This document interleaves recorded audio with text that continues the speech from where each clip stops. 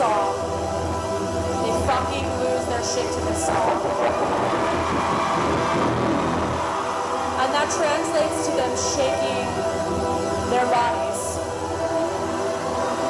and shaking their booties. Now, I'm a big fan of the bootay. I'm a bigger fan of the bootay than the tite.